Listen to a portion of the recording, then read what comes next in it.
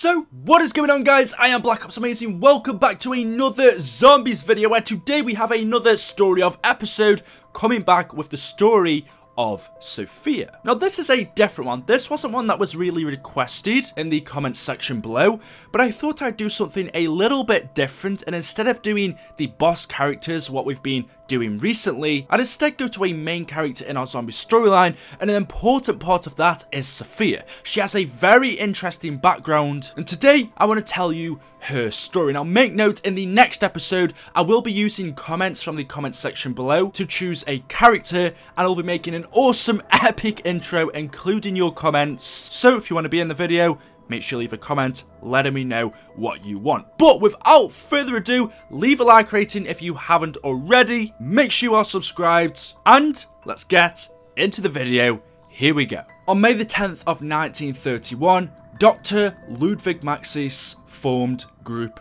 935, an experimental organization dedicated to the study of element 115. Maxis tells his scientists that they represent the future of technological advancement, and will be pioneers of human discovery. The group swore in secrecy for their respective governments. As Maxis said, we cannot afford to let this power fall into the wrong hands. As time went by to take on the workload, Maxis employed more people at Group 935, and one of those was Sophia. Sophia became Maxis's assistant. She would help Maxis complete projects on teleportation and experiments with his weapons. And everything in Group 935 was going well, they were getting closer on the construction of the MDT teleporters, Richtofen's wonder weapon, the Wunderwaffe DG2 was in progress, and everything seemed to be going well. That was until Group 935 started to run out of funding. They simply didn't have enough money on their own to continue the research they wanted, and so Maxis saw no other opportunity. After seeing no other option, on July the 13th of 1940, he instructed his assistant Sophia to write a letter to the Reichstag High Command requesting additional funding.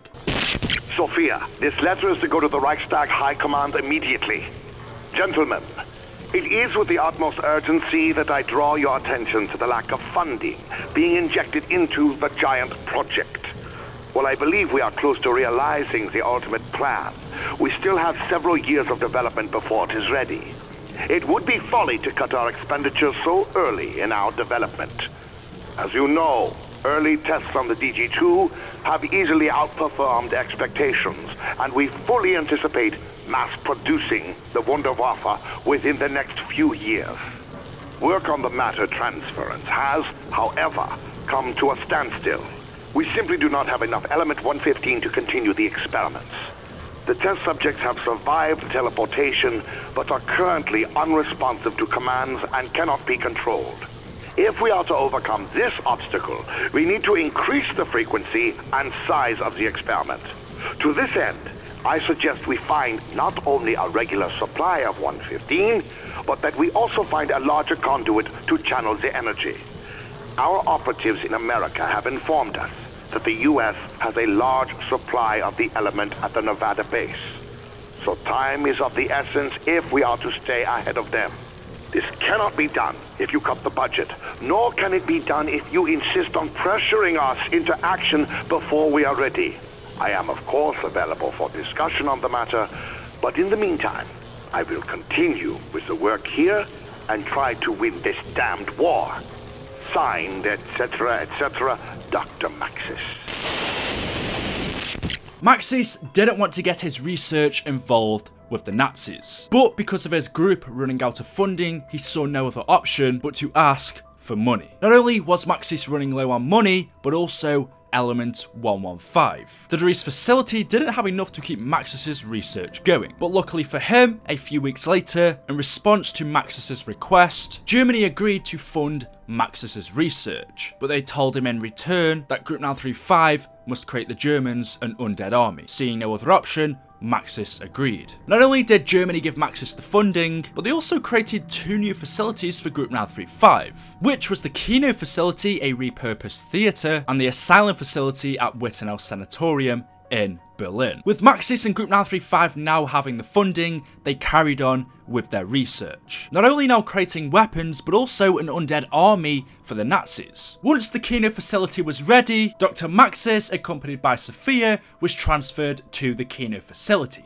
to focus on creating Germany's undead army. But wanting to keep this a secret from Richtofen, Maxis told him that he needs to go away. He left Samantha in his care and along with Sophia went to the Kino facility. Once Maxis arrived at Kino der Toten and after setting everything up, Maxis started to worry that Sophia had grown too close to him. He knew that his daughter Samantha became jealous because she thought that Sophia was going to take the place of her mum who had died. And even Richtofen became worried thinking that Maxis had become distracted by Sophia and so realizing this Maxis considered sending Sophia away. However, he didn't. He changed his mind and got on with his work with Group 935 at the Kino facility. This would turn out to be the wrong decision. Maxis started his work at the Kino facility, trying to find a cure that could control the mind of his undead army that he was trying to create. The test subjects had been undergoing treatment for five days with very little progress. However, as a few weeks passed, Maxis started to make great strides in breaking through to their subconsciousness. Subject 2-6, one of the zombies Maxis was trying to control, started to respond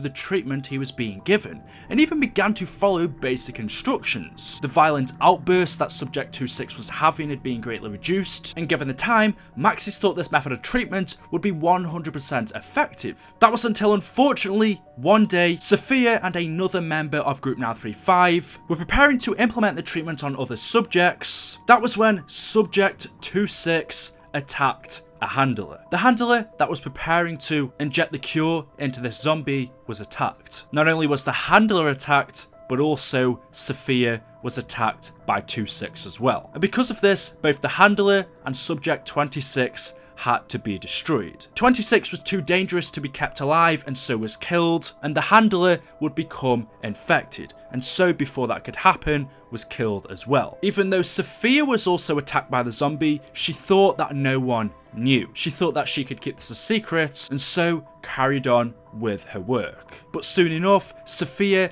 developed patterns of high fever and cold sweats. And having the close relationship that she had to Maxis, she feared that she couldn't keep this a secret from him for very long.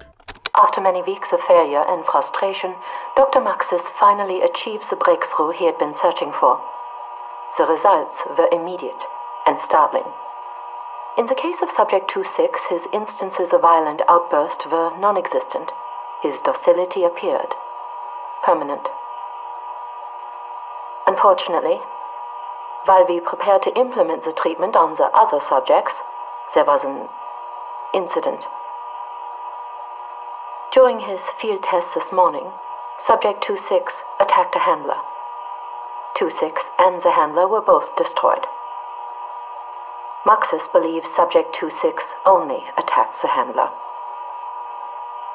He does not know I was attacked as well. I have observed a developing pattern of high fevers and cold sweats. My thoughts are erratic. My relationship with Ludwig is complicated. I fear I cannot keep this secret from him for long. She thought that no one else knew that Subject 26 attacked her as well, but actually, Maxis did know. And knowing this, he knew that he had to do something to save Sophia, and so called her into his office. Sophia knocked on his door, she came in, Maxis offered her some tea, but what she doesn't know is that actually Maxis had poisoned it. Putting poison in Sophia's drink, he killed her. And as she slowly died, coughing, falling to the ground, he told her that he loves her and everything that he is about to do is for her own good. Sophia is now dead. The break-in programming coincided with the flashing lights and loud noises of the fire alarm in the test facility. One moment. What is it? You wanted to see me, Ludwig? Sophia, yes. Do come in. Sit down, my dear. Have some tea.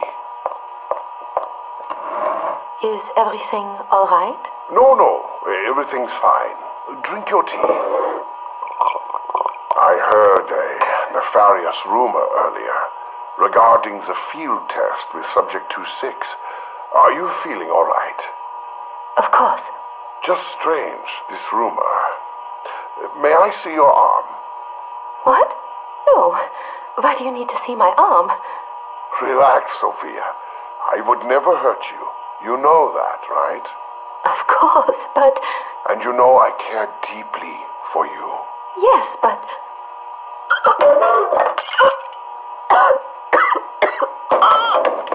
Yes, yes, yes. Then you know everything I'm about to do is for your own good.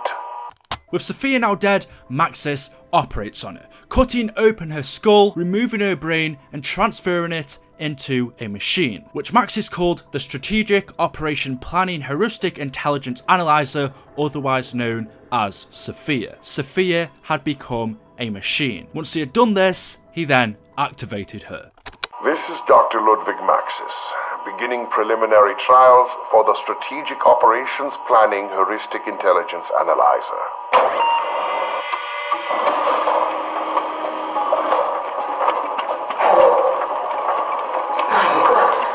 What's happening? Ludwig? Dr. Maxis? Hello, Sophia. Where am I? It's so dark here. I can't see anything. That's all perfectly normal. How are you feeling? I feel nothing. What have you done to me? I saved you, Sophia. I saved you the only way I knew how. Oh, Maxis. What have you done?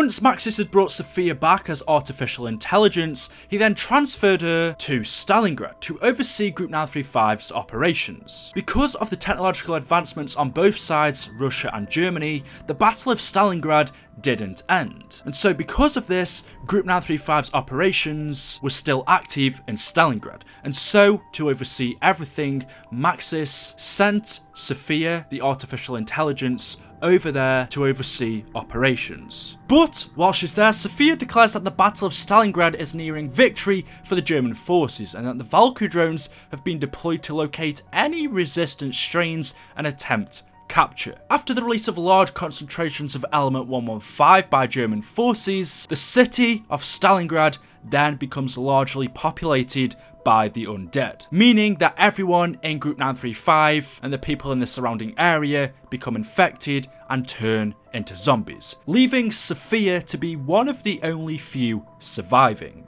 And whilst World War II still rages on, Stalingrad now turned into a three-way conflict between the dragons, machine, and the undead. Without any remaining human survivors, Sophia is now trapped in the city. That was until one day on November the 6th of 1945, drifting through space and time in his ethereal form, Dr. Gersh arrives in the Gorod Krovi fracture. His soul becomes trapped in Stalingrad. Now with only Gersh, Sophia, the undead and machine in the city, trapped, as we know, during this time on their quest to secure Nikolai's soul, Richtofen and the crew arrive at Stalingrad, where they find Sophia. As we know, she instructs them to perform various tasks to initiate the Ascension Protocol so that they can in return receive a power core to repair Nikolai's mech suit. These tasks include retrieving Gersh to extract information from him, escorting a malfunctioned Russian Mangler and a Valkyrie drone for her to analyze, retrieving information from the fallen Groph module, terminating a self-destruct sequence and downloading information on interdimensional travel. Once all of these tasks for Sophia are completed, Sophia is freed. She dislodges from her normal position and departs from Gorod Krovi in the search of Dr. Maxis. As we know, in the meantime with Sophia gone, Richtofen collects Nikolai's soul, sends the souls of the characters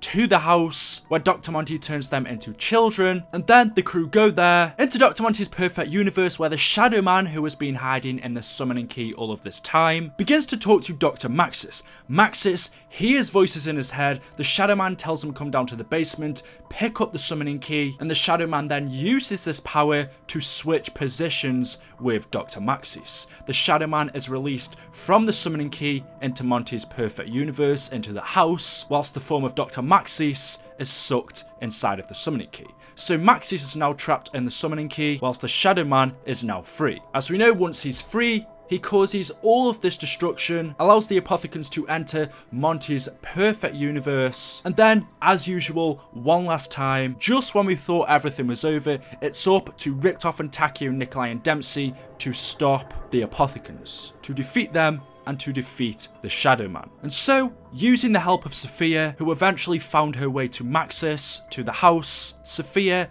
helps the crew defeat the Shadow Man. They push him back, and in order to save Monty's perfect universe, to save his daughter Samantha and the children, Dr. Maxis, trapped inside of the summoning key, along with Sophia, together they know what they must do.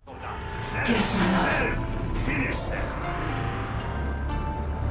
We will do it together. As one we are. Now and forever.